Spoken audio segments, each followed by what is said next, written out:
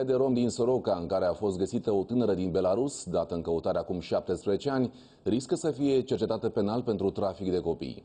Asta au declarat ofițerii Centrului de Cooperare Polițienească Internațională, după ce acum câteva zile s-a aflat povestea fetei, care ar fi fost furată de o familie de rom pe când avea 3 ani și vândută ulterior unei alte familii din Soroca. Urmează, cum v-am spus, fiecare...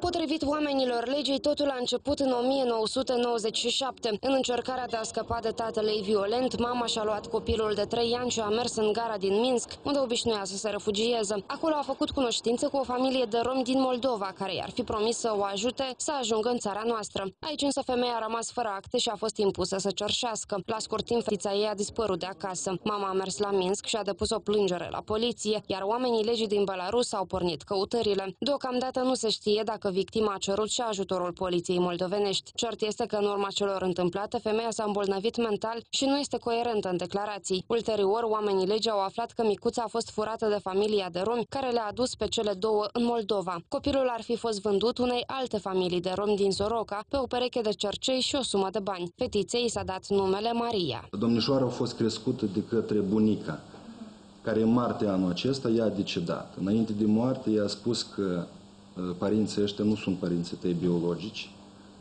că tu ai altă familie. Când a aflat despre acest lucru, tânăra a mers la poliție, care a constatat că fata este într-adevăr căutată de Interpol. Acum, membrii familiei în care a fost găsită urmează să fie audiați de oamenii legii. Baronul romilor, Artur Cerari, neagă posibilitatea ca ea să fi fost luată de lângă familia ei, dar spune că așteaptă rezultatul anchetei deschise pe acest caz. Olga, în vârstă de 21 de ani, a câștigat la sfârșitul lunii mai titlul de Miss Soroca. Ulterior, după mai bine de 17 ani, s-a întors în Belarus, unde o așteptau cei trei frații ei, dar și o mătușă. Acolo urmează să fie perfectate actele. Potrivit poliției, fata nu exclude posibilitatea de a se stabili în Moldova.